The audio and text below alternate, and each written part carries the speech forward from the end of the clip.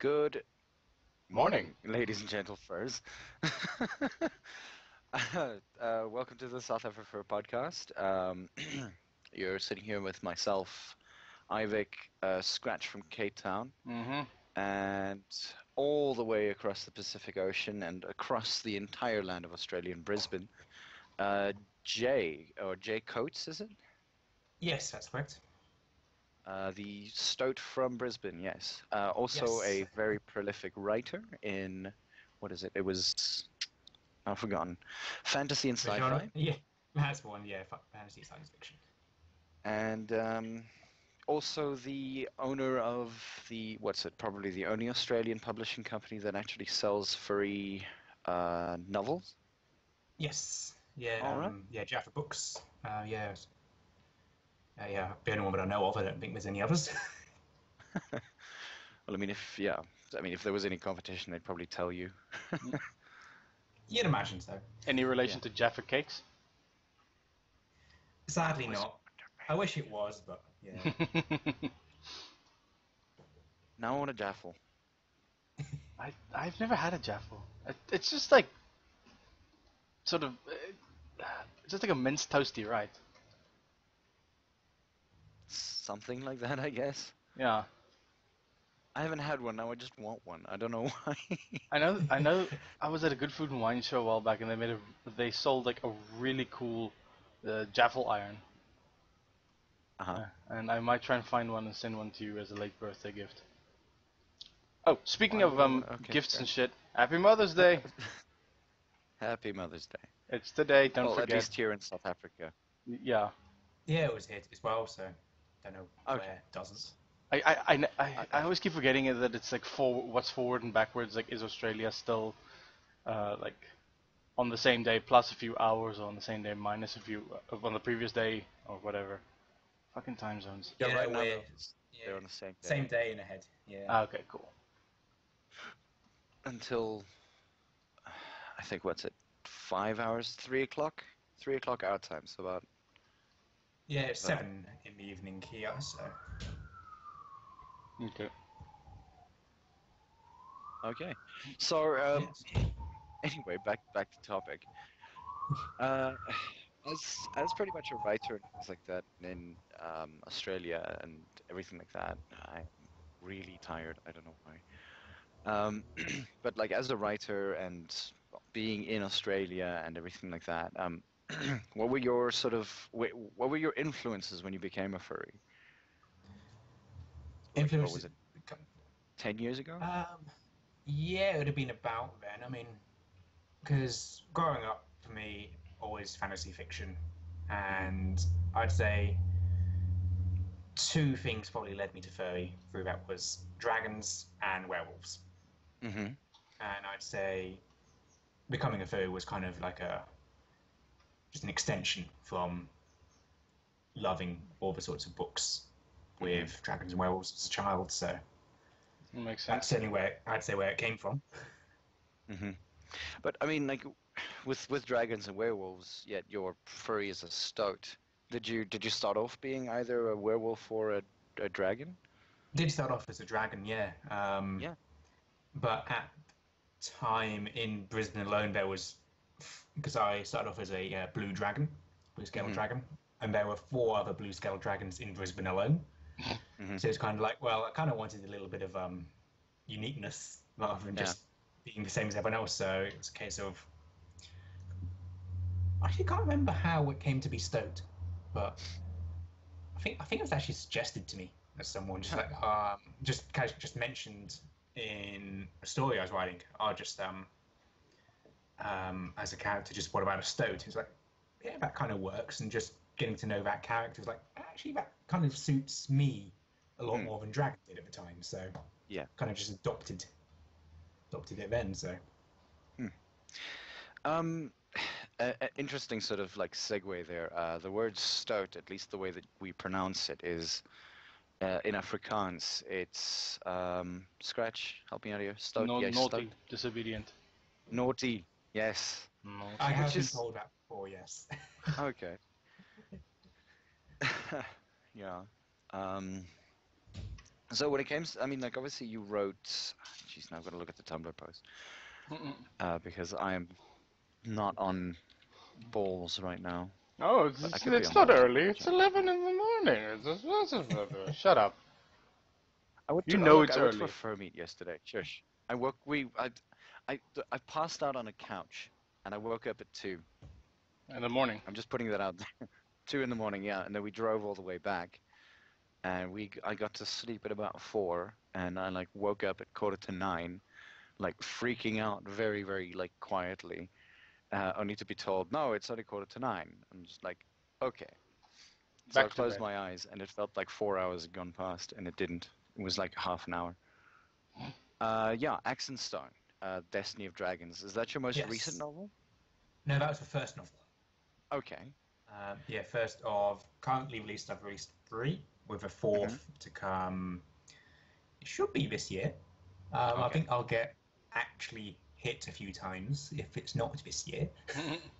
Um, yeah, um, no, one of my friends who's read all the books so far, she was a little bit annoyed by the cliffhanger endings I had, and yeah, had a bit of a slap on the shoulder for those. Hmm. um, Now, and uh, when was your last book written? Was 2040? 2015? Um, yes, the last book was released about this time Oh. last year, actually. Okay. Yes, it was. Yes. Yeah, this time last year was the last book released. Hmm. Okay. Um, interesting thing. There's there's a guy called Omega. I'm not sure if you know him. He was Yes. apparently on about two hours ago, and uh, was waiting off of the uh, yeah, chat. yeah, He's, he's kind of disappeared right now. yeah. I told him a while back that this would be happening right now, and I think he just um, kind of got a little bit ahead of himself there. okay. And um, as as a publisher, and obviously you'd you'd probably be your own publisher then. Uh, do you have uh, an editor or somebody on your side who actually also checks through your work and and uh, makes sure that you're doing fine, or or do you just do that yourself? For other people's books, I mostly do it myself. Uh, but yeah, it's never a good thing to rely on yourself for your own writing because it's always said that you will read what you intended to write, not necessarily what you have written. Mm. Um, so, because you you know in your head what what you're trying to convey, what the meanings are, what the um, behind the scenes information is, and all that sort of stuff. Mhm. Uh, so you may not realize that you're not giving enough information about a character and just um, not explain enough. Mhm. Uh, and also, of course, you'll always miss your own typos. Yeah. So Yeah. yeah, it's always better to have other eyes look over it who who know what they're doing as well, not just your mum who will just looking at it and whatever whatever it is, your mum will say, "Oh, it's amazing." um, so yeah, you always need someone who will give honest critique and Yeah. a skilled critique as well. Okay, because I know that what's it? Uh, Kyell Gold obviously has his own uh, publishers and things like that, and they obviously Yes. hold him to a deadline. Is it is it difficult being your own publisher and holding yourself to a deadline, kind of being your own boss? Yes, simple answer is. Um, you need to, yeah, you need to set your own deadlines, and you've got to make sure you stick to them, because otherwise you'll get distracted by other things. And even if it's other worthwhile things to be doing, like I often get distracted by publishing other people's books Okay. and just end up forgetting about my own. So you've you've got to set time aside to work on your own stuff and get just Mm. get it finished. Okay. Um, I mean, obviously, as as a writer, uh, you take uh, what's the word? Um, you you find information or things like that that you're able to sort of incorporate in your books and things like that. Uh, what what would you say would be your uh, what, what was the book that inspired you to be able to start writing? Um, oh, I'd say f- most writers will have a book that inspired them positively, Mhm. um, and say, "Oh, I read this book and I was inspired. I, I, I'd love to be able to write as well as this or whatever." For me, it was kind of the other way around. I read a book and it's like, no, I, I can do better than this. Mhm. Okay. Um, for me, but uh, it, it's it's hard to say it without sounding kind of big-headed and up myself a bit because it's a Mhm. popular book. Uh, I don't know if you've read Eragon by Christopher Mm. Paolini. For but me, he wrote I that when he was 18, wasn't it? When he started. he started writing when he was 17, and I think he was 21 when his parents published the book. Okay. Um, but for me, because I discovered it and book about dragons, fantasy book, it's perfect for me. And I read it the first time and I loved it. Mhm. Then I read it a second time and I started noticing all the little mistakes and all the little cliches and where they've been quite blatantly copied from other writers Yeah. and like notice that the main character was actually kind of just a bit of a cardboard cutout. He wasn't very interesting. And it was after reading it for the second time, I was like, I, I, I could probably do better than this. Yeah. Um, I'll leave it up to my readers to decide if I have. I mean, I'm not going to say that I've done better, but he's won a few more awards than I have, sold a few more copies, but Yeah, I like to you know, a couple. Had had a few more Yeah, movies just a made about his work. Speaking of Yeah. movies, those movies were shite. oh, it was only, it was only one, wasn't it? I mean, yeah, it was just was a- one. it was a, it was a pretty terrible movie. I mean, yeah, poor That's Jeremy fine. Irons was there trying to make it look good, but he Yeah. can only do so much. Like the movie was so bad, it probably could have warranted a cameo by um. Who's that guy who makes all those movies like every single year? Uh, Nicolas Cage, No. randomly screaming at someone at some point. Not the it- dragons. Oh, it'd be terrible having dragons in your eyes. Oh, Yeah, Nicolas Cage. it's yeah. I, I feel sorry for him on on one on one side, and on the other side, I kind of sit there going like, it's just Nicolas Cage. Well, his his his entire career is in like a quantum state of good and not good. Because there are some roles that you you like where he's definitely warranted. Like his skill is well placed, and others are just like, Yeah. what were you thinking? What would you say? Could he say it's Schrodinger's cage? Possibly, yeah, Schrodinger's cage exists in both of terrible and amazing state at the same time. definitely. Yeah. In most movies, he just he's just. I mean, like it's it's weird. I liked Captain Corelli's mandolin. Most people panned it. Um, I well, I is that like your is that his best role for you or not? Uh, Not necessarily. It was a terrible Italian accent, but I mean, then again, you're you're looking at uh, what's his name. They they lauded him for his Afrikaans accent in Blood Diamond. Ah, Leo DiCaprio. Yeah, it was a terrible Yeah. Afrikaans accent. It, it was one of those things that you kind of sat there going like, oh my goodness. You just went to Brakpan for two days, listened to the accent around there and just went, hi, I'm going to run with this. Mm, Most well, Afrikaans what- people are just like, what Wasn't he meant to be Zimbabwean or something? What was it? Or was possibly it Afrikaans? possibly Namibian. I don't know. Yeah. Well- Mm, or maybe just generic. Yeah. African, yeah. Yeah. without really specifying anything. Do you remember Matt Damon also like did an Afrikaans accent for a movie about rugby? Oh yes, of course. Oh, Wasn't he Yeah. Invictus. He Who was, was he Francois. He was Francois Pienaar in Invictus. Francois Pienaar? There's was no way that where- that guy looks like Francois Pienaar at all. I know. Was that one where Morgan Freeman played Mandela. um, Mandela. Yeah. Yes, I was. Mm. He tried his best to yeah. say Goeiemorgen, but it didn't work. Guillermo. Basically. Like. close enough, isn't it? Not even. Yeah. Well. Yeah, i- i- if you need an Afrikaans accent, just like just put Sharlto Copley in a room with some biltong, and like you'll just get a shit ton of material out of that. You fucking prawn. Here comes the sweetie, man. Fuck, I love that Oh, movie. boy. It was pretty good. Um, so uh, with with your publishing and everything like that, I mean, um, being a person who's been going to Furdu for what the past ten years as well, or at least since Free Oh. was around. Yeah, well, first I think six, Um, seven six years. Yeah, So in other words, there were it's it's it's been around for eight years. something like that. I think yeah. So, I, I, I'm not even sure. Like, I mean, like Duke would be a popular fur from Australia, but he's not really Australian anymore. He's moved to America now. Yes. But um, like, how is the uh, how would the the Australian uh, fandom sort of compare to something like, you know, uh, the the American fandom or the Canadian fandom, or for that matter, the Brazilian fandom, which has been moving around for a couple of for for a while now. I know that I think y- you guys are a little bit smaller than I think. yeah, um, yeah. definitely a lot smaller.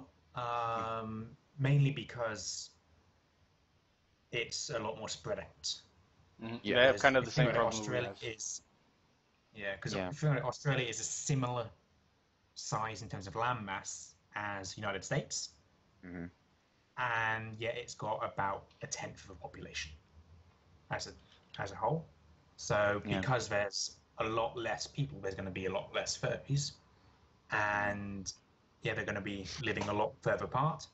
Mhm. So Yeah. people from Perth, for example, won't fly over to Brisbane Yeah. or to the Gold Coast for Furdu because well, that's a four-hour flight at least. Yeah. Um, so really, the conventions. I think yeah, we've got three conventions: one in Gold Coast, one in Melbourne, and one in Perth. Hmm. It's largely local people attending, with Mhm. some interstates, some interstate people, and then a much smaller percentage from overseas. Yeah. And Would- I think our maximum attendance has been about 600 people for convention, Hmm. so Still a lot. much smaller. That is quite a lot. Oh it- yeah, it's a lot, but you compare it to like the large US ones, and they're drawing Mm. double, treble, treble that even, and more. So Well, I mean, what was it? Uh, furry uh, Anthrocon got uh, 6,000, 7,000 people? something fuck around that, yeah, Sounds about right. yeah. I mean, um, like what what we were what we're doing in South Africa is we're trying to get people to a central area in South Africa, and I'm I'm, I'm looking Yeah. at a map right now, and I'm kind of thinking, well, the most central area that I'm seeing right now is Alice Springs, in the Northern Territory, but that's like what mid desert. Yeah, there is uh, nothing there. Hmm. Nothing. I mean, no one, hardly anyone voluntarily goes to Alice Springs. Th- Look, that- you guys live yeah. in Townsville. That's that's cute. Dude, that did.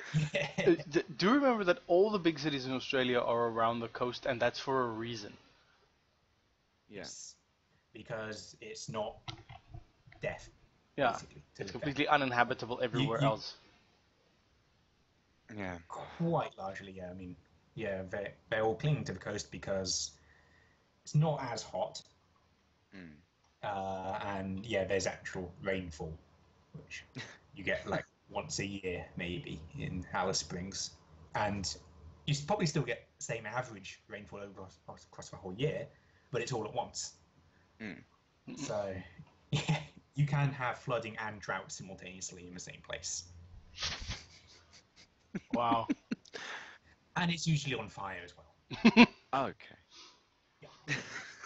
that. Oh, So God bless That, Australia. um, They need it. yeah. Yeah. When it, obviously, if we look at South Africa, a lot of the animals that we tend to choose, we, we don't choose the springbok, we don't choose the blackback jackal. Uh, we have a cow for starters, as, as one of our one of the furries in our in, in our fandom. Yeah. Um, and uh, is, is it a similar thing that side? I mean, like nobody's a wallaby that side, or Um, uh, I would or say I've Tasmanian? known- yeah, I have known more people with kangaroo sonas to not be Australian. Yeah. Um, I mean, there's yeah, I'd say there's.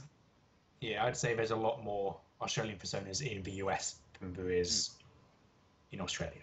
Mhm. Um, I mean, you, you, I'd say the only common or reasonably common Australian animal as a persona in Australia that I know of is dingo. Yeah. It's Quite a few dingoes. that Um, makes sense. You wanted to find a canine. You'd, you'd Yeah. think that we do like blackback jackals more often here, And I've only ever met one blackback jackal, and he's also from America, but he's Yeah. also from Britain. But he's also got Canadian citizenship, so I'm not. he's an interesting man. Okay. Um. so. Uh, obviously, we were we were talking about like you know. Uh, how did how did you guys actually find Zoo Zootopia? Like, was that accurate for you guys in respect to like a lot of things, or, or was there as much hype there as there is here? Because like South Africa's still going completely and utterly nuts for it. I would say so. I mean, um, I don't know what other cities did, but uh, in Brisbane we had because we had a um, weekly meetup, um, Yeah. South Brisbane Furry Meet, which is one of the largest weekly meets in the world. Mhm. Um, or at least it used to be. I think it's kind of died down a little bit now. But um, Yeah. yeah, we uh, had on a Tuesday night we all went to the cinemas and all watched it together. There was Yeah. probably about nearly two dozen fursuiters, which was a pretty impressive turnout. Hmm. And yeah, I mean, general opinion was that I think there's been some people in Brisbane who've gone to see it like ten times now. So there's definitely a lot of people who absolutely adored this film. And to be I thought it was an incredibly well-made film, incredibly well-written film as well. Mhm. Um, and I think the first 10 to 15 minutes was one of the best examples of visual world building I have seen in a film.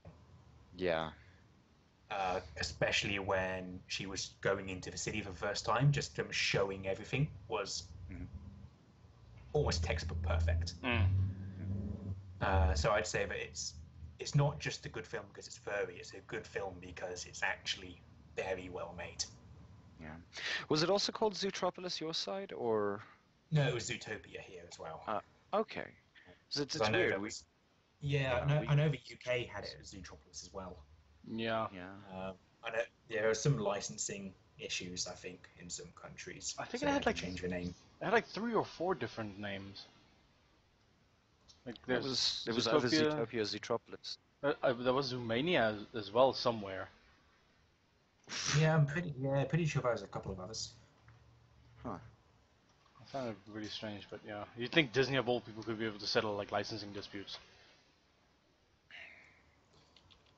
You'd think so, but Apparently not. Let's see. Zootopia names. Okay, that's not what I wanted. Close enough though. Um, I mean, the characterization of the, of the characters is also very good. Um, let me see. Yeah. Also known as Zootropolis in some European uh, countries and the UAE, but that's it. okay. Good enough. Apparently, we're part of the UAE now. No, we just we get all the UK offshoot. Mm. There was there was some mo- yeah we got like a I think it was for Shrek as well. Uh, for Shrek we got um, the UK shoot where like a lot of stuff was taken out, like mentions about the Crusade, like things like that. Mentions about Crusade. Yeah, it's like uh, like yeah, and like w- one character says he did have an old war wound, but um, uh, in the American version, they actually say it's an old crusade wound. So like mention like those kinds of Oh, mentions was in, suppressed. was that in um, I think that was the king in Shrek 2, wasn't it? It I believe so. Had an old wall. I believe so. Interesting. Okay, didn't know about that. So yeah, Um, lots of censoring. hmm. Well, subtle censoring. Obviously, um, what's the word? Uh, Southern Hemisphere uh, furrydom is, like we always also mentioned, like very, very small and things like that. Uh, is what's the furry population like in New Zealand? Um, I know a few from over there. Um, I know they do have their own convention as well. Uh, uh, what's it called? I, I would, I would very, very like easily call that furry down under, down under. Uh, I think it's I think it's FurCon NZ. something. Okay. Simple enough. Or FurCons as it is. Um, but yeah, I know that's a much smaller convention again. I think they only get about 150 people or so each time. Mhm. So I can't imagine they've got a big population there. Yeah. Um, Um, one of the other questions that I have is obviously in South Africa, we're uh, predominantly, uh, I guess, white male uh, grouping. Um, is there any more diversity around your side? Um, I'd say, I'd say the majority of the population is actually um, is gay males here. Mhm. uh, I think certainly it used to be. I mean, because I'm not as active amongst the weekly meets now, but Yeah. there's a time where like three quarters of the weekly turnout was gay male. Hmm. Um, no, I think I definitely say there's a, a lot more females now.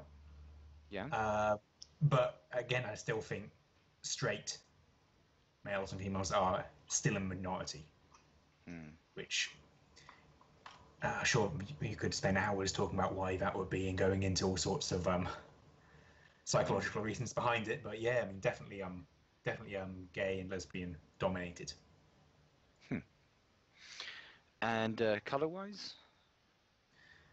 Um, I'd say yeah, certainly majority, majority white. I mean, Uh-huh.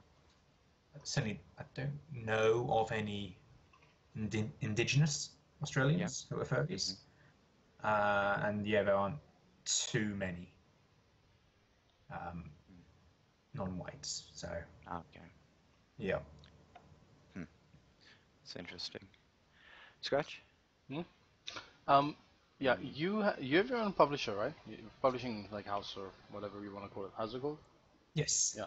Um, Jaffa. how do you go? ab- Jeff yeah. yeah. How do you go about uh, the actual like printing of the books? Could you would you consider like what you do self-publishing?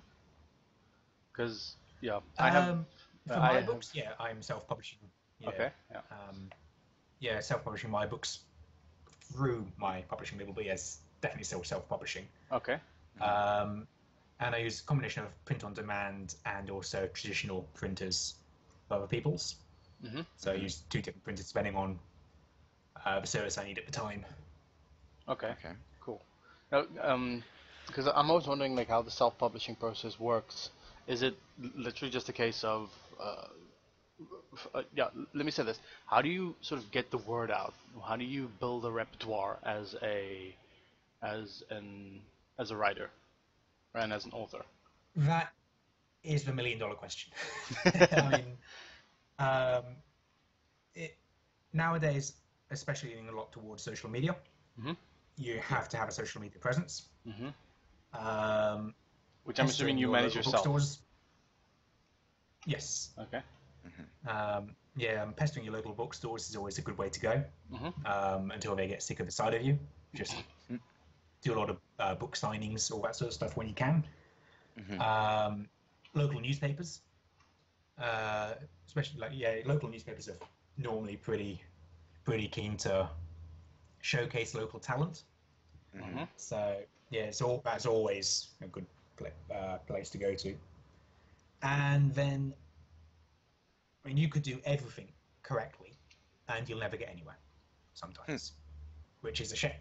But uh, sometimes, yeah, you just need to wait for that stroke of luck, basically, where Yeah. just keep on going, keep on uh, keeping at it, and Mhm. then one day it'll just click and you'll become the next overnight success after about eight years of work. that that critical mass point, I, I'm assuming, takes quite some time to get to. It can do, yeah. For some people, it happens in a year. For Mhm. other people, it can take five years.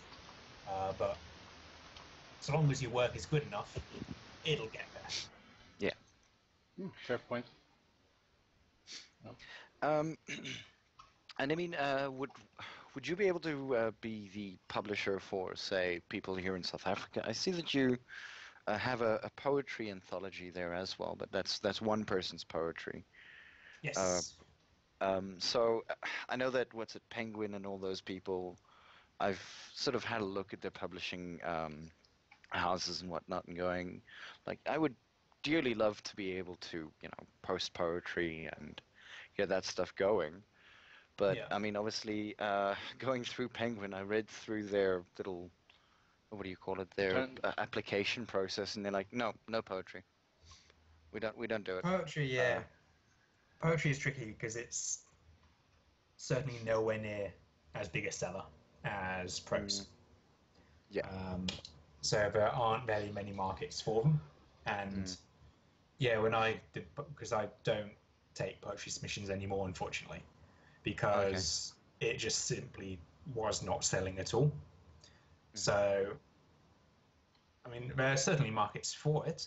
Uh, I just wasn't able to access them myself, unfortunately. So I've just, um, started doing it. But yeah, you just got to keep trying to find them, basically.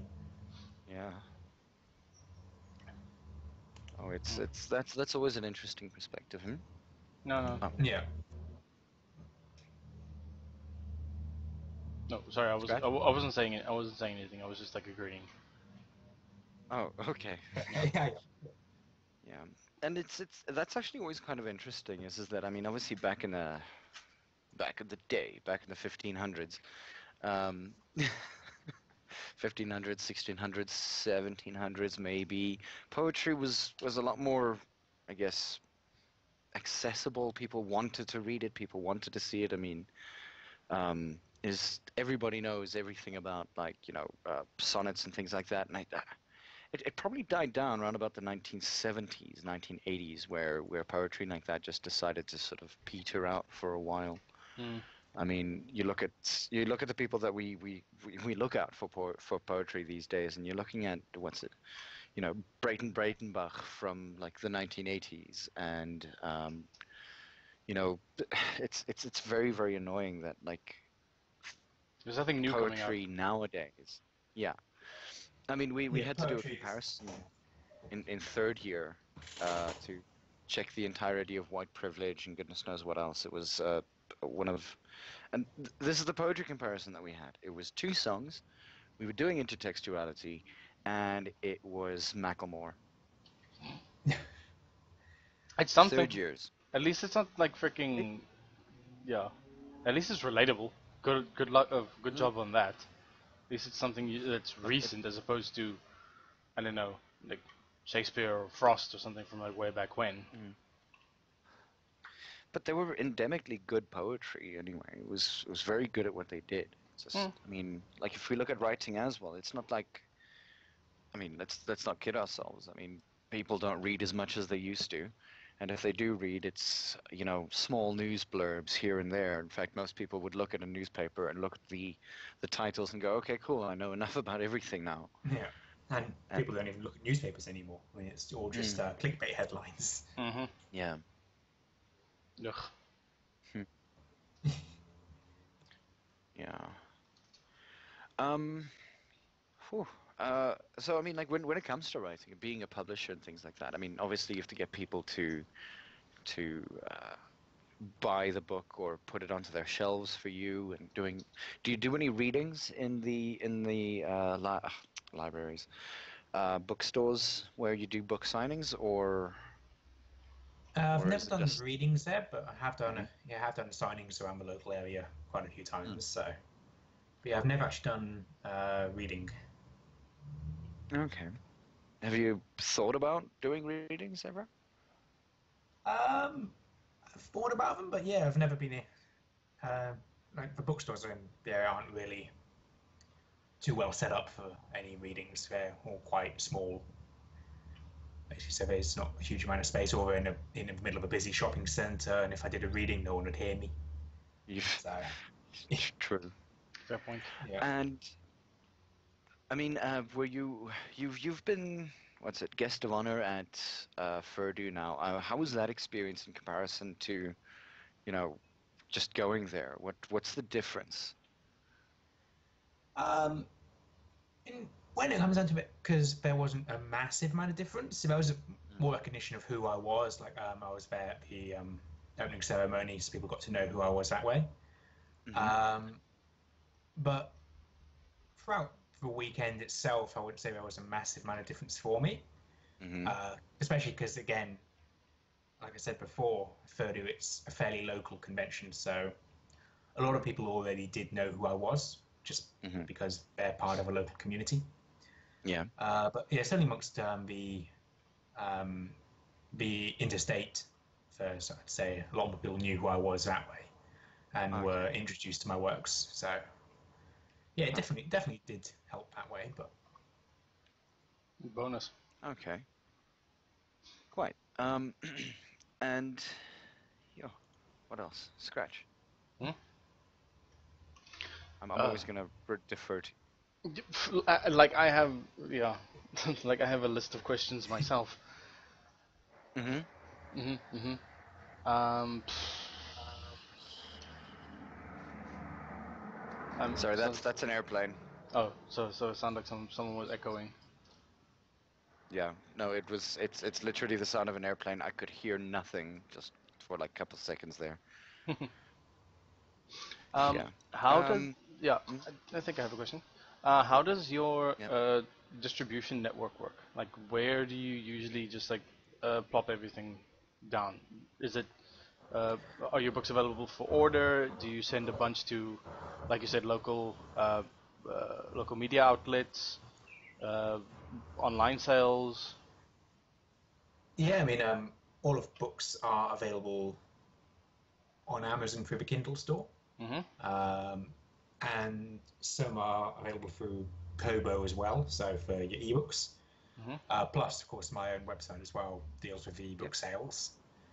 And then for distribution, I mean, uh, new print I've I work with now, they're, uh, they are a print on demand service, and they've got locations. I think they've got about five locations throughout uh, through the world, so they're able to. Whoa. That's loud. That was a loud one. Yeah, I mean, um, you still got ears there? Uh, Sorry. Hell just happened there? that was a jet flying like really low. You like? Are you That near? right outside the window? Yeah, are you near an Air Force base or something? We're near two. Fuck. there's Watcops and then there's uh, Waterkloof. Of course, and it's not late in the evening when they oh. when they're not doing stuff. Yeah. Yeah. Whew. Um, But yeah, as as I was saying, um, yeah, like I can.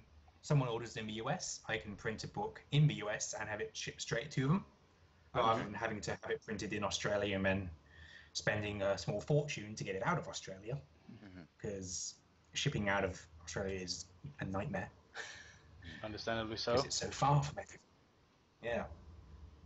Are you considering possibly like opening your uh, maybe to international borders and things like that? No, Brazil, uh, if I'm not mistaken, I think Sofawolf is attempting to uh, sort of open up little areas within the Brazilian um, uh, furry fandom down there, and Uh. I think maybe we we lack, I think, to a large extent, a publishing company who'd be willing to to do things down in South Africa.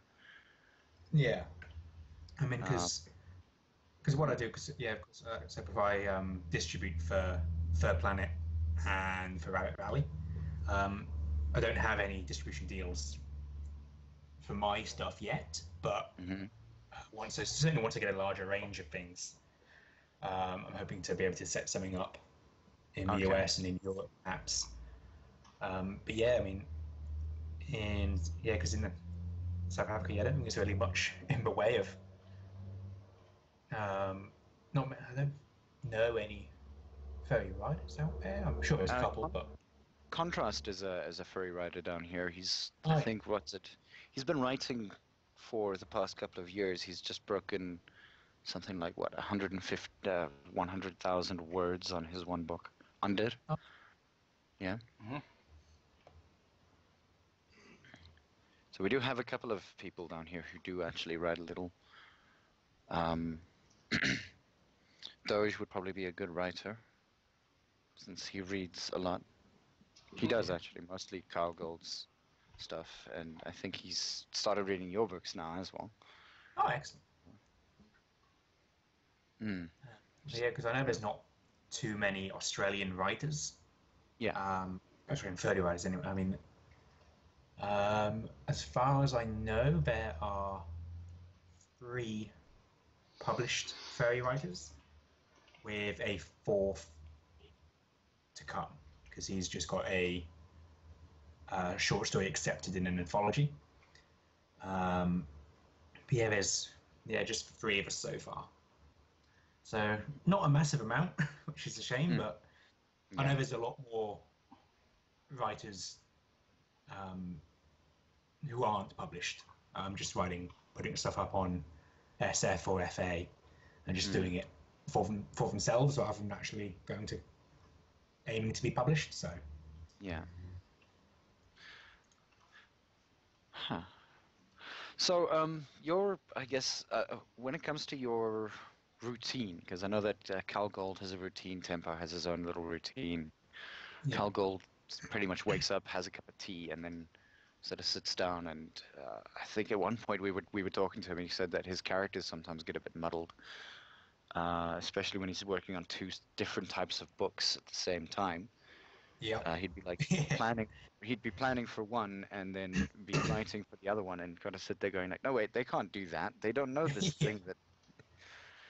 So yeah, I mean, I how's do a lot. It's not the same world. how's your um? It's not the same world even. Like it's not. Yeah.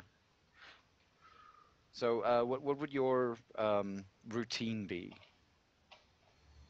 Um, so I'd say I do most of my writing towards the evenings, Mhm. um, mainly because I um, work as well, so I have, have another job to deal with. Mm. Um, so yeah, usually it's when I get home from there, I'll sit down and do some writing. yeah. Uh, and I'm a sort of writer. I tend to have too many projects at the same time. I've got like four or five different short stories I'm working on, or I've got Mhm. Two different. Um, there was one point where I had two different novels at the same time, which is not the best thing to do because yeah, like so you just get distracted by. Well, they distract each other in a way, so Mhm. you end up not doing anything. Yeah. Uh, I had uh, Reborn, which was one I released last year. I was writing simultaneously to Impossible Magic, which okay. was my second fantasy book. Mhm. And yeah, it was it was tricky trying to get back into the right mindset for them because they were two very different books. Um, one told first person perspective, one told third person. So Mhm. I made so many mistakes in Reborn where I used um, where I used first person or vice versa with Impossible Magic. Yeah. So I had to go back and correct all of those in editing. So yeah, it's always best to focus on the one. Mm. Okay. Um, Yeah. But yeah, I mean, I, I don't think I've got a s- specific set routine. Mhm. Where like I don't, because I know some writers. I know uh, Philip Pullman, who's one of Yeah. the writers I admire. He's one of- who he goes down, he sits down, he writes a certain amount of words per day, every day, no more, no less. Uh, so he's very regimented in how he writes. But um, I'm a lot more free with my writing. So Yeah. I'll write however much I feel I can. Uh, Mhm. sometimes I don't don't write anything in a day. Sometimes I can write. Um, I think the most I've ever written in a day is about eight thousand words. Sure. Nice. Um, uh, especially when doing NaNoWriMo, which is great for for deadlines. Uh, which is, if you don't know NaNoWriMo, it's National Novel Writing Month, which is every November, Oh right. Yeah. and you're basically challenged to do fifty thousand words in a month. Sheesh. So 1,667 words on average per day for a whole month. Wow. And it's a great way to just blitz through most of a first draft. Nice. So I always try to start a novel in November because, yeah, I'm able to get a really good head start and get some momentum going on it. hmm Hmm. And I guess that it, it obviously has to be coherent. Oh, Can't yeah, just- I mean, yeah. I mean, there are some people who do, do NaNoWriMo and they just put stream of consciousness onto the page. uh-huh. And so they'll just start writing a sentence and they'll just follow it wherever it goes, even including their own internal monologue, even if it has nothing to do with the characters on the page. Mhm. That's not the way to do it's- NaNoWriMo. I mean, yeah, Okay, it's but- got to be, it's got to be decent. Mm. It's not going to be perfect. No. No first draft is perfect, but Yeah. yeah, you you got to be able to build upon it rather than just delete thirty thousand words. I suppose stream of consciousness stuff has its place, but not not in like writing a novel. Hmm. Yeah, yeah, basically. Stream of consciousness is what Twitter is for. Yes. But I mean, even then, 160 characters. Try Facebook. I think that might work. Or just have an angry blog. Have you seen? Yeah, angry blog is like that. Yeah, angry blog is good. yeah.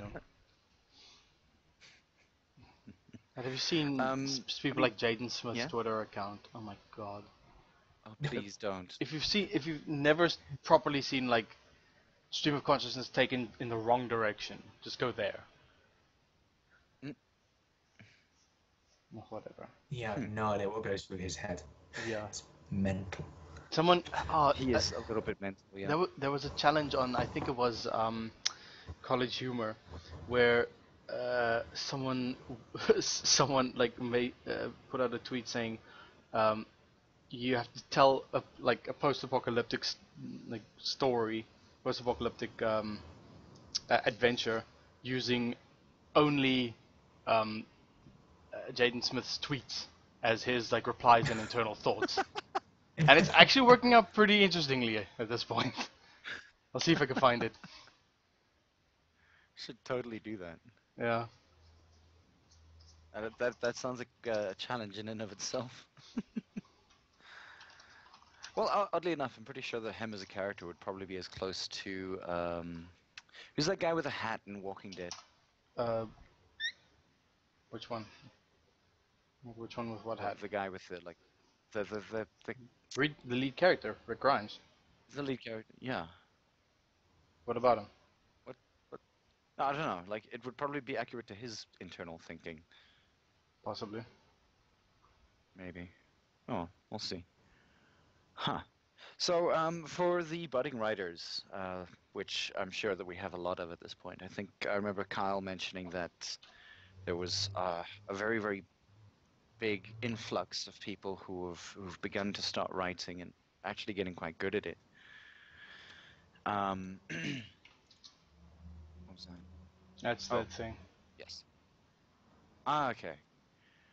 Um, would you say that how how do you think that as as a as a writer yourself, how would you inspire other people to begin to you know put their thoughts on paper, put their characters that they've probably got milling about in their head, um, and to actively Uh, like try to get yeah I would say, especially if you've got if you've got the characters clamoring to have their story told, it's always Mhm. so much more satisfying to actually be able to to read it rather than just listening to them the whole time. Because I know a lot of writers will understand that the characters they're they're real people in a way. Mm. Um, like I interact with my characters as though the actual people I know, and Hmm. I'm just there telling their story uh, for everyone else to know about them. Mm. okay Uh, like often it's like sometimes they're the characters are they're, they're my little babies sometimes, or sometimes they're my friends. And yeah, it, I know for people who don't write, it'll sound like I need to be in some sort of institute just for talking about these imaginary people as though they're real. But that's genuinely what genuinely what it feels like. Um, and yeah, the satisfaction of seeing their story written out and completed. Like, I don't think there's really anything quite like that um, in terms of just how amazing it feels. And then to have people actually sitting there and people talking about your characters. Yeah.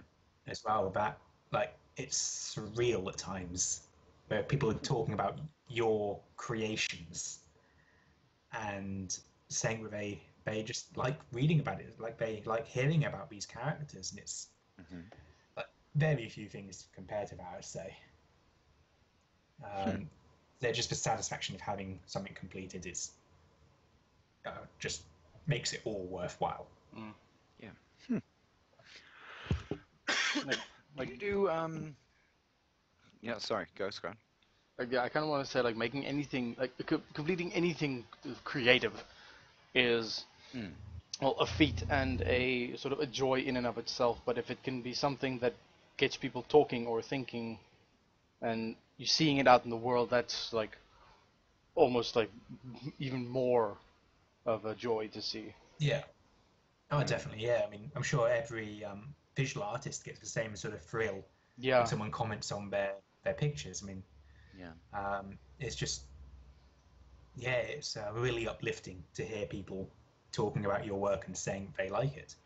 And it, it's even in the same way. It's, it can even be nice to hear when someone doesn't like it, hmm uh, as long as it's just not mindless hate coming Yeah, towards you. Okay. No, but if someone can say, "Oh, I didn't really like this, but this is the reasons why I didn't like it," Mm. then that Yeah. can make you learn as a writer or as an artist or whatever it is that you do, Yeah, um, because you're able to know, okay, this is how I can improve. Mm. Hmm. Because no writer will, or no artist will ever think their work is perfect. yep. If you think that, it's clearly not. Hmm. Um, because you will Or you're James always Smith. be learning. or yeah, or you've uh, ascended to a different reality, like Jaden Smith did. yes. Um, but yeah, you will always be improving. and Always find new ways to make your work better. Ah. Um, and yeah, as long as you don't get disheartened by that, which when it comes down to it, you shouldn't. Mm. Um, yeah, you'll always improve. Uh, speaking of constructive criticism, sorry that I'm uh, like cutting you off, No. Ivik. Uh, speaking of like Go for it. criticism and stuff, um, has there ever been a point where you or someone uh, like commenting on your work has gone like, why did the character do this? It seems like it seems out of character. Like it seems like something they wouldn't do. How do you Uh, yes. H- How do you prevent that Yeah, and how- pull back from that, uh, like, uh, not mindset, but how how do you keep your characters on track? Um, it can be quite tricky because sometimes characters just take hold of a story and run with it. Mhm. Um, where it, it can take you in ways where you never really plan to go. I mean, um, but I suppose it's just a case of once you've finished drafting it, so you finish your first draft, where you don't worry about any any of that sort of thing. Then you just need to go back and look at it and just just read it over several times and just put yourself in the mindset of character. Um, yeah, you just you basically as the writer, you've got to understand this character completely. Yeah. Because if you if you haven't done that, then you put yourself at risk of the characters doing things that they shouldn't do. Mm. Um, and you've also got to then get a second pair of eyes to go over it as well. Yeah. And ask them, especially if, if you have a little bit of doubt about one character doing things they shouldn't be doing, get someone to say, okay, just read through this. Don't focus on about anything apart from this character. Um, does this character do everything as they should in the way that I've explained them?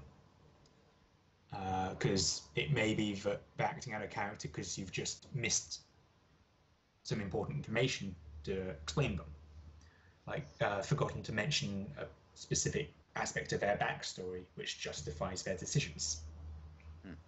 So, yeah, you just got to be careful that you've included everything you should have and that you understand your characters yourself.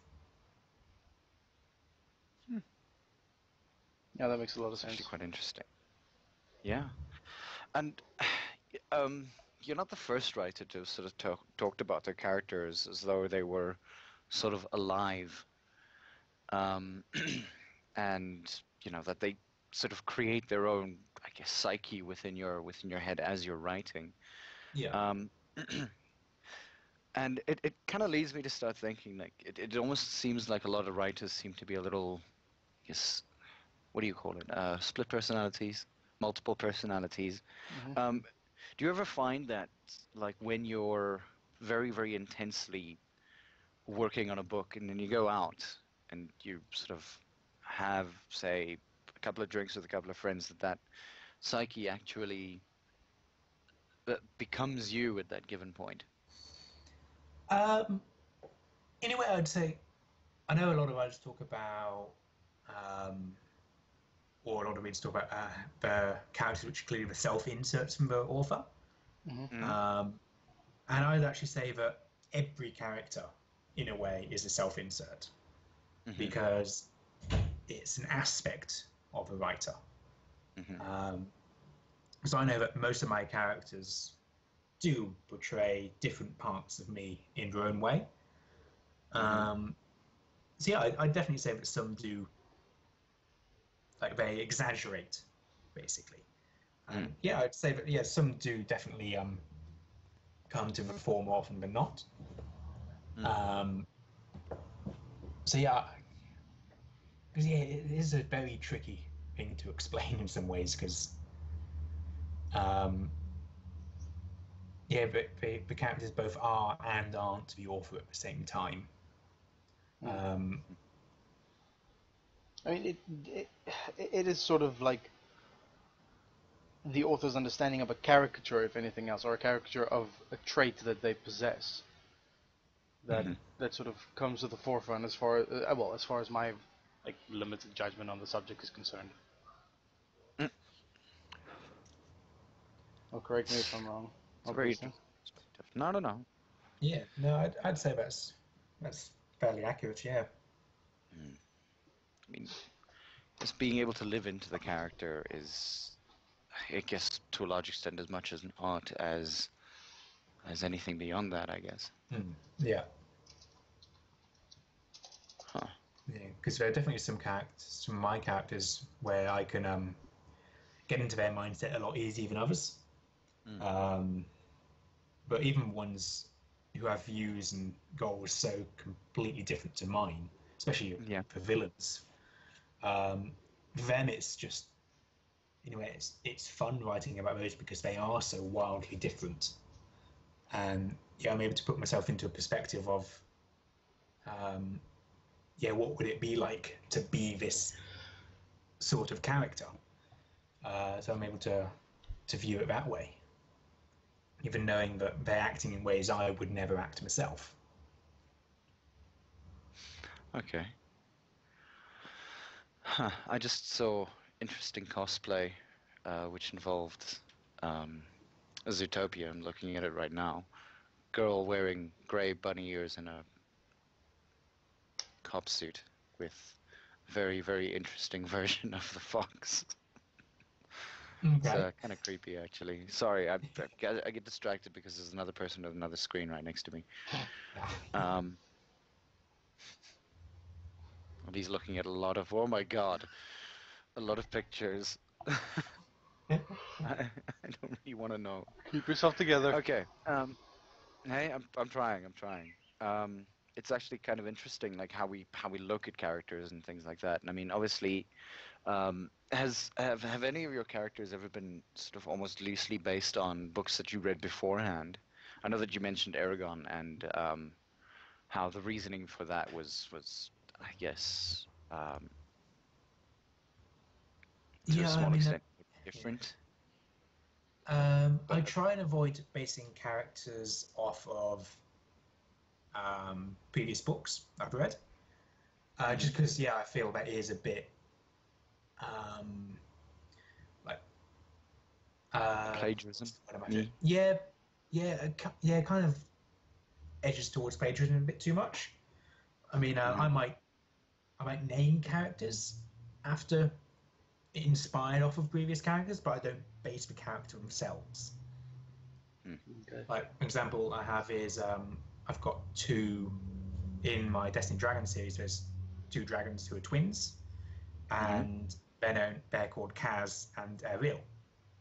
Yeah. and they're named after a character in a Maggie Furey novel uh, or series, which is the Shadow League series, which is one of my favorite book series. And there's a Drake in there called Kazel. So I basically split the name up into Kaz and Eril. Mm. Uh, so kind of putting that in there as a bit of a uh, reference to a book I admire. But the characters themselves are nothing like Gazelle. Hmm. Uh, so just kind of borrowing a name to just give a bit of a nod towards the books I like. But I wouldn't take more than that.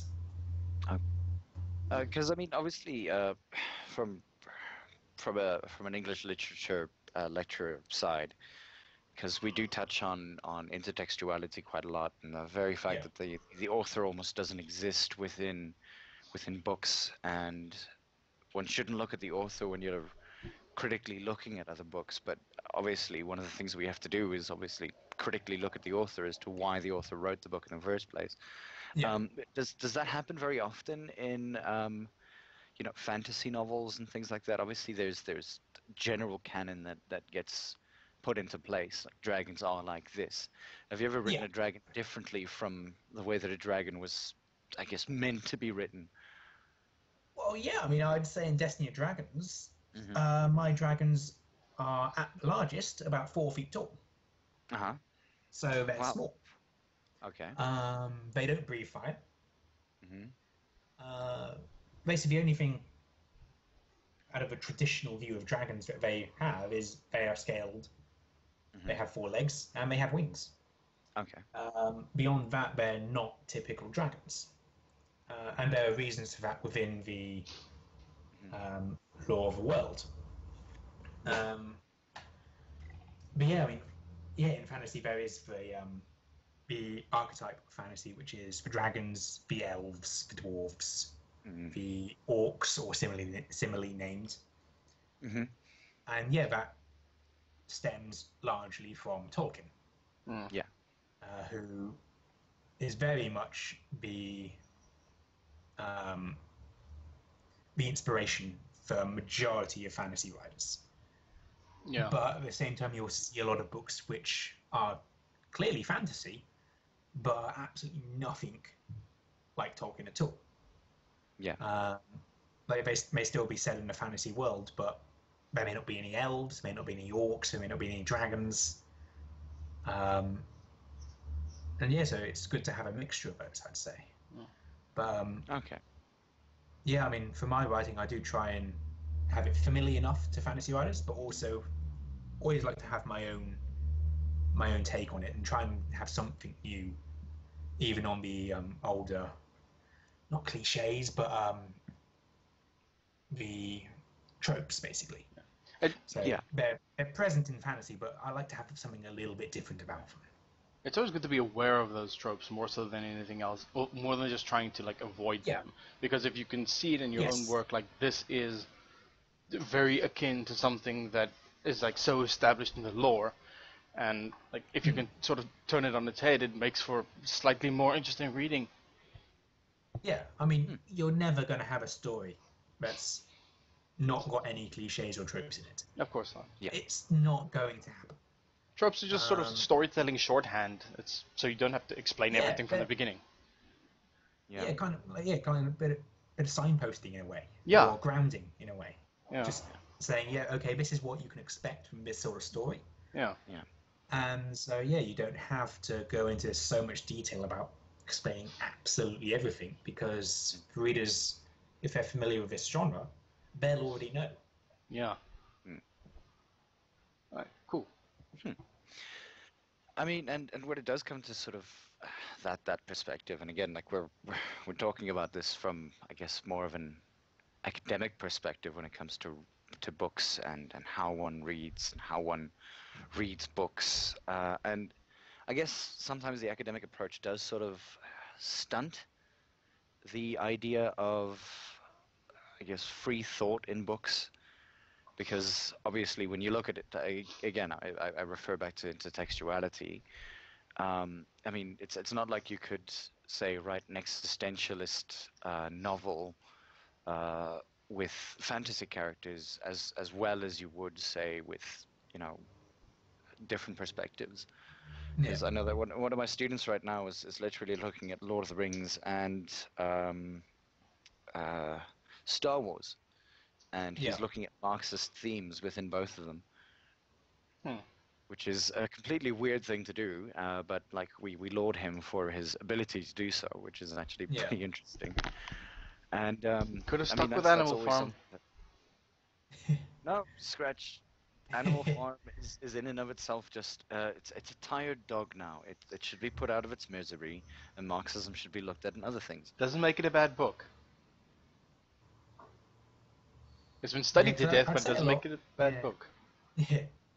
Say a lot it's of all been- uh, theory stuff. It can be very interesting at times, Mhm. Yeah. but at other times, it's finding meaning when there isn't any, in a Mm. way. Mm. Yeah. Because I know I know a lot of theories that I studied at university. They um, often talked about how the author clearly meant this when they were writing it, or they had this thing in mind, and it's like, oh, probably not. I mean, I know I, either one. I certainly don't think about what themes I'm putting into my book. I don't Mhm. think about any of that sort of stuff. I mean, I just write what the story should be. Mm. And yeah, I know if someone did sit down and do a one of those theoretical readings, they'd probably find all sorts of things in there and say that I meant such and such and such and such. When it's like, no, I just wanted to write about a dragon, Yeah. Yeah. and perhaps that's all it was. Which I suppose does come into the whole author is dead theory, where yeah, what the author means means absolutely nothing when it comes down to it. So yeah. But any any piece of work um, that uh, like anyone produced, be it art or like uh, uh, writing or poetry or games or whatever, there is there is something that you say about uh, like I wouldn't say your biases, but things that you hold as like as an as a norm or as um, like a belief that you have that other people can come across and say like this is actually like sort of racist. Or this is actually sort of Yeah. like um, I don't know a little bit like nihilistic. That you, you didn't even you didn't even know like that was the undertone or like a, some, like a the tongue-in-cheek point that you were making but because you were just you know I'm just writing a story but yeah, Yeah. Uh, like something like um, I recently watched an interesting extra, extra credits episode about the division, where like the whole game, it's like through the mechanics of the game, you like uh, the idea of uh, totalitarianism is lauded, and um, people and like martial martial law is just like the norm. It's like yay, like you get experience points for shooting people that haven't done anything just because the guy on the radio Yeah. tells you to, kind of thing. Mm. Like the, whatever anyone produces, uh, if they don't like s- sometimes sit back and look at it with a critical eye, they people can start see you could completely convey the wrong message sometimes. Yeah. Sorry for that tangent. yeah, No, no worries. It's, it's worth it, and I mean, like, that's that's pretty much the that's that's the extent, or not the extent, that's part part and parcel of uh, what, to a large extent, intertextuality is. Mm. In that, um, again, the what the author means and what the author wants to say uh, versus what has been said about it can be two completely different things. I mean, yeah, again, everyone's everyone's going to look at things in a different way from different perspectives, hmm and quite often come with out with different meanings. I mean, that's just nature of what it is Yeah. um, for people to look at it. I mean, no one's going to have the same experience as someone else. no, of yeah. course. and it's it's not like uh, and it's it's actually kind of interesting that um, as as an author, I, I guess one would want to hear these these weird theories about your books and things like that, and sort of sit there, maybe chuckle to yourself a little bit. Oh, yeah, it's Uh, fascinating sometimes. Yeah, Mm. it's, to see, to see how differently people read it to how I expected them to read. Mm. Yeah. Um, yeah, I mean, there can be some very different ones sometimes. Sit, sit there reading. And It's like, it's- it's not lol, like- no. Yeah, yeah. and it's it's not like you can direct them that far, and you can sit there going like, okay, cool. Before you read this, read the plot synopsis for like the next twenty minutes as to how I thought this should be read, and then read it, and to see whether you do that. And you kind of sit there going like, well, you're leading a reader way too far into this, and they really have to be able to, I don't know, making your own. It's that's that's the that's the part about reading that's that's always very interesting, being able to make your own sort of uh, conclusions as you're going through the book, going like, okay, this Yeah. character's going to do this now, and because I mean that's that's sort of the one thing that, that readers tend to do is, is that they try to to presuppose the idea, and when that when that's uh, I guess that twist comes around. You sit there going like, I was never expecting that to happen. Yeah. Um, that's the part. That's the reason. That's I think to a large extent that's what makes a good book, is that Yeah. you can lead a person to the point that they sit there going like, yes, okay, I know exactly where this. Okay, I didn't see that coming. But what's Um, an even better book is when you have that moment of I never saw that coming. Then you go back and read it again and go, oh, hang on a minute. Yeah. And you can see then with the knowledge of how it's going to end, you can then see the clues put in. Um, and that makes an even better book. Yeah. Uh, it's one of the reasons why I'll always hold J.K. Rowling in such high Yeah. esteem hmm because um, with her portrayal of Snape, Mm. I I don't think there's any better character in fantasy fiction ever. Mhm. Just because of his motivations and how his and how his portrayal, you never know which side he's going to turn. Yeah, he's an asshole until book it finally seven. Yeah, and when you finally know whose side he's on and his motivations, it all clicks.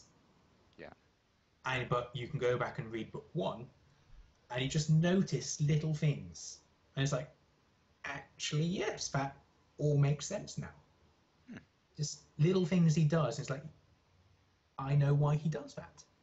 Yeah. Um, so yeah, I mean, I mean, I guess 20, 20, 20 vision in hindsight most of the time. yeah, I mean, as soon as you know that this is going to happen, you read back and you're like, oh, that's what it meant. yeah, And look, I mean, everything needs to have a little bit of readability or re-readability in it, and it's it's probably one of the reasons why I guess. And it's unfortunate I was never able to get back to, uh, you know, Harry Potter and and things like that because the movies, sort of, out. Uh, I think w- with a lot of things happening in my life, I, c- I couldn't read the books and watch the movies at the same time. And Yeah. at one point, I made like I made a cardinal sin of watching the movie before I'd finished reading the book, and then just never watched either ever again. yeah. so I mean, I, I stopped around about book five, and then of course uh, Scratch um, had, did another cardinal sin by telling me things that had happened in another book that I was still busy reading, and I hated Oh, for yeah. Which one was that again? it. Um, uh, a s- uh, Dumbledore. I didn't know about that. Like, yes, you did. You mentioned it. You also ruined an anime like that for me. Yeah, I still I hate know. you for it. Yeah. Now, well, and I, I don't know. I, I would consider myself maybe a little bit more mercurial as a reader. Um, I've I've fallen away from actively reading books, uh, mostly because I just have I, I do have too little time to be able to read them, and for that matter, write them if I have, if I really wanted to. I can't get into into into getting into that. I mean, like. I wouldn't be able to spend two hours writing now because that would be two hours marking that I have to, you know, put away yeah. and I, yeah, it's uh, concentration is, is something that, that needs to be done. And I mean, I guess like I could put in an hour and a half for a podcast, but can't put in an hour and a half for a book. yeah, priorities. Yeah, anime, gaming. All those things. Speaking of which, um, when when you look at the sort of advent of storytelling in gaming as well, I mean, uh, I know that you you might not necessarily be as avid a gamer as myself or Scratch is, but for I know for myself and um, I think Scratch too, uh, when it comes to being able to read uh, or be part of a, a game as well, the storytelling has to be of such a level that you you want to be able to continue playing, and sometimes Yes. it forces you to play for 12 hours straight because you want to know what's going to happen. Mm. Yeah, well, and that's what- thing. A good story leads Yeah. to good immersion. Yeah. If you're immersed in a story, you want to keep on going. Mm. But if it's a if it's a substandard story, then it's like, well, what's my motivation to keep keep at it? Mm. Um, Would you? Uh, yeah, no, go. you know Who me? saying? Who me? No, no, no, go for it. Yeah. Jay. Mhm. Continue. Sorry, I, I was gonna s- I was gonna go into a tangent again, but just continue going. I'll I'll Okay. get the Well, thought just. well, yeah. I, mean, I think I was just kind of summing up what I just said. Like, yeah, good Ah. immersion means that you're going to want to keep on playing. A- and yeah, you need a good story for that. So Uh, which kind of leads me to my follow-up, obviously. Um, if if you could, would you write a story for a game? Ooh. Um. Yeah, I mean, I, I suppose I could. I mean, I have actually had um, someone ask me that Mhm. before. I mean, he, he's producing a game, and it was like, "Do you want to be involved in writing?" But it's just something I couldn't dedicate the time to at the time. Mm. Um, but yeah, I mean, it, it would be a very different type of writing. You've got to, because you of course have to take into account um, player actions. I mean, players aren't always going to react the same, so you've got to Mm. make sure it's, it's a story where people can um, can have choice in, Yeah. Yeah. And and uh, rather than just taking them down a linear path. Yeah. I'll be honest, like I can excuse a linear path and almost like support a linear path, um, if what happens in the story sort of um, is enforced by the actions.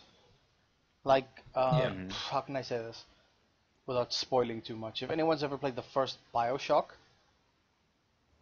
like the twist about like ninety percent of the way through, um, made it, it made a lot of sense in like retrospect doing what you were doing.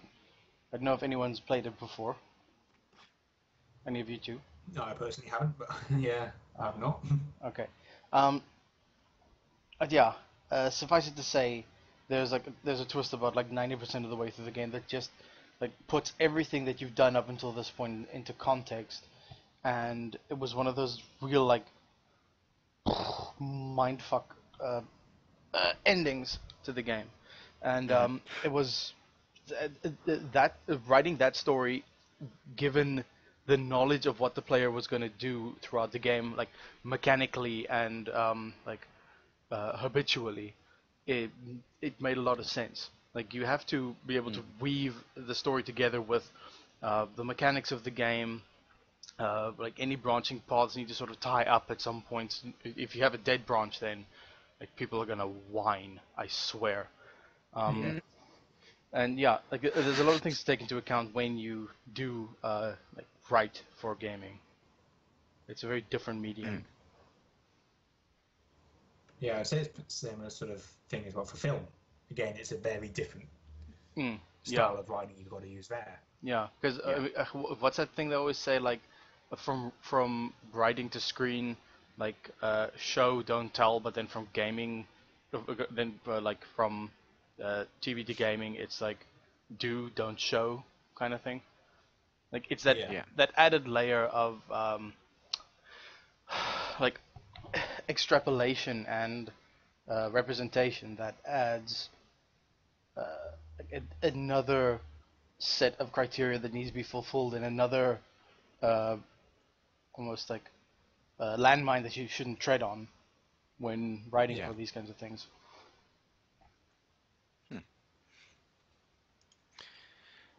That's that's very interesting. I mean, I guess to each his own. Uh, a lot of the time, I mean, a linear game versus a non-linear game where you have like three thousand different endings, Mhm. and especially if you're a completionist in games, you would try to do all three to four to five to seven different endings, and eventually you'll get bored of the game because the the replayability or the the choices weren't very well thought out.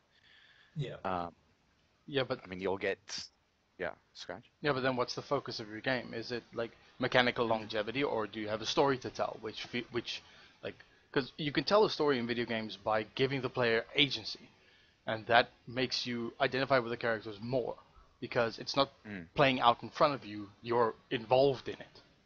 So, Yeah. do you want to have the game like be a game that you can like play constantly, like so, something like uh, The Binding of Isaac, or uh, Enter the Gungeon, or something like that, that's made to be constantly replayed with minimal story attached to it, or are you going to like put out something that you want some want these people to like walk through the story and in the shoes of this character to hmm. come to a resolution at the end of the day? Yeah, and you've even mean, like, the ones which do both. I mean, you've got the stories which gives a player completely free reign of what to do, but hmm. Still telling a story. Like you look at the Bethesda games, Mm-hmm. Yeah, fair point. you, you're free to do whatever you want, but Mhm. there's still a story behind it all. Mm. And I say that's the most Yeah. challenging. Yeah. And there are multiple ways to accomplish missions and like get to your end goal. Yeah. And that is that is Mhm. like the strength of something like New Vegas, Fallout New Vegas. Yeah. I mean, um, talking about like I guess storylines in games and and I think things like that. I mean, like you you look at your walking simulators that they've got these days, Mhm. uh, which has now become a game genre. Um, I mean, you've got uh, Dear Esther, which I think started it in the, in 2009, where Mhm. you just you were just a person walking on an island, listening to a person narrating why you were on the island. And there's stuff And like Gone eventually- Home and uh, Firewatch and all that kind of stuff. Firewatch was good though.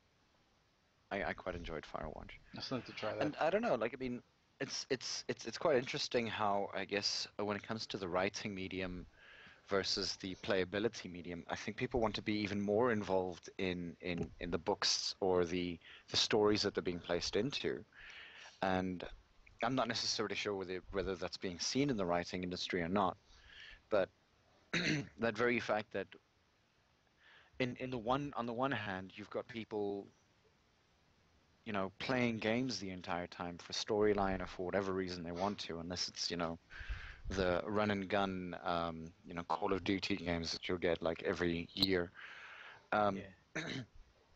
or anything like that. Or you can create your own story if you're playing FIFA to a small extent that you've gone and created your own player and your player is going to play for this team and then they're going to move out of that team and then they're going to get too old, but they never get too old. Um, they can play until they're 40 or 42 uh, circa Ryan Giggs. Um, but I mean, like even then, you you can create your own footballing story if you wanted to by playing the game, or you can create your own little backstory for a person within something like that. So, I mean, you, you're kind of sitting in this dichotomy of, um, you know, how do you engage your reader, and can you engage them more uh, because of gaming? I mean, uh, Scratch, I read an article the other day about um, gamification of like a whole bunch of things. One person even went as far as to say, has gamification gone too far? Mm-hmm. Um, and I guess that's that's probably a question that I could ask Jay. Is is that do you feel that people are reading less because they're gaming more because they're more engaged with a story, or is it because they don't feel like reading? Um, in, I'd say in a way, yeah. I mean, people are reading less. I'd say just because society in general is moving away a little bit from that sort of thing. Mhm. Um, like people are still, yeah, like people are still involved with story, like Mhm. through gaming or through film. So yeah, they're still consuming stories. It's just in a different medium Mm. and I don't think that's necessarily good or bad. It's just it's just changing. Mm. Um, and even people who are reading their stories, I mean, you've got the rise of ebooks, which Yeah. when that first started happening, people were saying, "Oh, the print book is not going to last a couple more years. It's dead. It's no, it's going Mm. away. It's gone." And yet, it's still here. Yeah. Um, books are a part of culture and a part of history. Mhm. And because of that, they're never going to go away. Um, yeah, they're having to adapt to modern technology, but so, so yeah, you've got your ebooks, you've got your audio books. Um, and but yeah, I mean, you could argue that books are becoming games in a way. Mm. It's just a new method of telling a story. Yeah. I mean, if uh, if you look at uh, Tempo, Tempo is busy sort of working on a on a game much like that, um, where it's it's a book that is scratch. What was it called again? Um, Um, Alison and the Awesome New the Robot, robot Body or something. Yes, yes, that one. Which Making I mean, I- body. and again, like you're, like yeah, you get to choose. Wow, that's that's creepy. Um, sorry. Focus. yeah, no, look, he's looking at porn. Okay. God damn it! Focus! It's the front page. We have a It's front guest. I know, but I mean, it's it's right next to me. Uh, I should put on blinkers or something like that. there we go. He's turned to screen. That works. Um, but I mean, like if uh, with with with games like that, or with uh, little stories and, and things like that, I mean, you, you'd find as a writer maybe that you'd also have a little bit more freedom. Or do you think that you've got less freedom uh, writing a game story? Um, I suppose a different kind of freedom. Because with books, readers have certain expectations, but they'll have different expectations for a game. So it's it's a different set of rules in a way, I'd say. Mhm. Um, Mm. Where yeah, some things you can do a lot more, like especially with interaction with games, Mm. but you can't do with books. But at the same time, that'll also limit what you can do. Yeah. So yeah, it, it's just like it's a different way of consuming a story. It's a different way of writing a story. Yeah. Mm. And and uh, there has to be cons- consistencies between uh, the story that you're telling and the mechanics of the game world. Like, um, Yeah. Yeah. Fi- like Final Fantasy VII being a prime example. Like, uh, all the while when people like when people are slain in combat, you can use like what's it, uh, Phoenix Down to resurrect them, but then Aeris gets killed off, and then Phoenix Downs are worthless. So you have to obey the laws of the universe you're in, i- i- in both writing and mechanics. Yes. Hmm. All right. Okay. Um, sheesh. It's it's been really really good speaking to you actually. Uh, like I mean, you're our first guest from Australia. Uh, Bar JM, who's in England, but he's been he's from Australia, which is Yeah. it's it's it's kind of weird. Like I mean, like uh, I think I, I remember having that, that little chat with you, and that Yeah, JM yeah, you- was yeah. from Australia and then went to England. You're from England, gone to Australia. Yeah. Um, and So I mean, got uh, Australian Englishman and the English Australian. yeah, Yeah, fair point. Australian man. which is which is actually quite interesting. I mean, we're we're quite um, quite happy to have you on because you're the first person who's about as south of the border as we are. Yeah. Yeah. Um, I mean, we had Brazil, but they're where where where they they were just just under the equator. Yeah, but they're closer to the equator than than yeah. Yeah. They're closer to Yeah. the equator than they are to any other Capricorns. Oh, uh, Capricorns. Uh, ca- what's it? Tropics. Yeah, tropics. Yeah, and uh, yeah, I mean, like it's it's great, like talking writing with you. That was very very uh, enlightening. I guess I don't think we've been able to do that with either Tempo or with Kyell as much. Um, uh, you are probably going to be up for Ursa Major at some point, right? Uh, well, I had um, Impossible Magic was a finalist in last year's. Uh huh. Um, but I was up against some very good quality books. Uh, who was it who won it last year? I think it was it was Rukis who won the award for best novel Uh, last yeah. year. Yeah, last year. Um, Yeah, so I was up against some very good competition. But if I remember the voting, because they released the votes afterwards, and I think Impossible Magic was fifth in the category, but it was by far the closest category out of any of the um, any of them. So I was thrilled to even be a finalist, really. But um, I mean, you you were going up against some Renee, basically some of yeah, yeah, Huntress.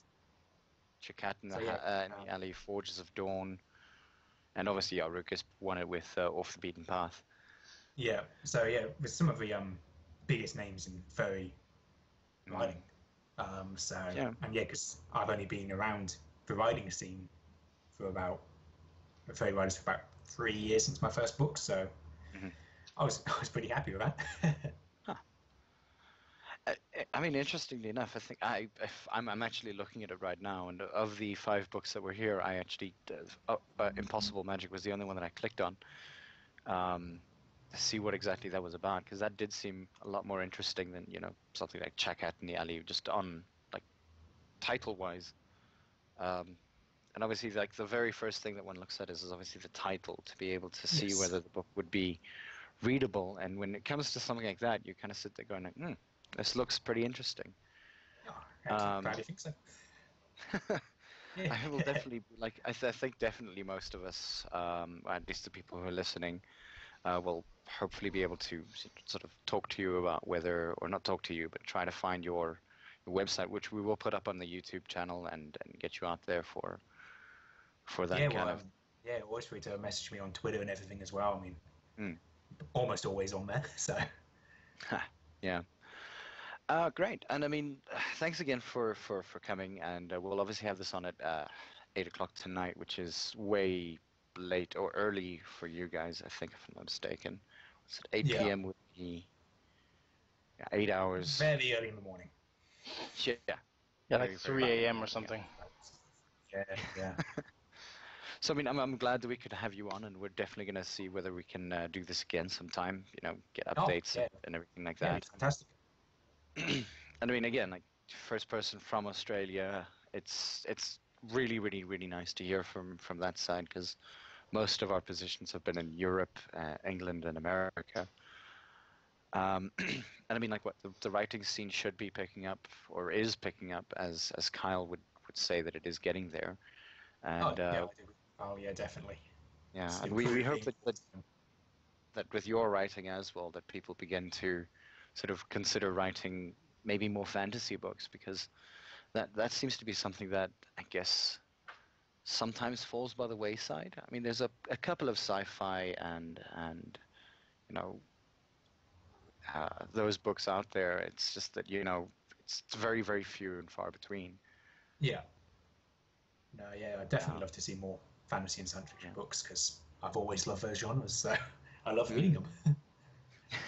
Yeah, I mean, like most of the books out there are sort of semi-slice of life and oh, yeah, modern times, etc., etc. I mean, like hearing about dragons or say somebody writing a book about the what are the guys from um, Skyrim, the Argonians and the Khajiit. Khajiit. Khajiit. Yeah, like I would love to, I would love to see somebody try to, you know, tie in with the Khajiit and and actually start writing books like that, or using the the genre that was created by something like that to be able to then, you know, create something completely new.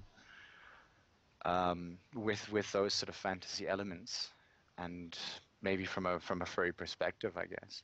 You know, adding yeah, there's, there's a yeah, there's a lot of potential, a lot of potential with that Yeah. sort of thing. Yeah, no, definitely. Uh, but yeah, so we'll um, we'll leave you to it. You'll be asleep in a couple of hours, I'm assuming. So uh, we bid you a good evening. Um, yeah, so it's been lovely, lovely talking to you. Yeah. And we'll, like I said, we'll, we'll have this we'll have this run again this evening. And um, yeah, obviously there was there was nobody, at least nobody that I could see that has been listening on first stream. Uh, they could be listening without having to chat or anything like that. Maybe they're still waking up. it is a Sunday Sunday morning after all. Mm, Mother's Day Exactly, breakfasts and all yes. That. So yeah, uh, we'll definitely see you again sometime. Uh, we'll keep in contact. Uh, Absolutely. Skype. Yeah. So yeah, we'll uh, we'll see you. Yes, definitely. Uh, All right. Yeah, thank, thank you for chatting, and yeah, thanks to everyone who's listening. yeah. Cool. Thanks. Thanks for coming. All right. Cheers, cheers. Cheerio. So yeah.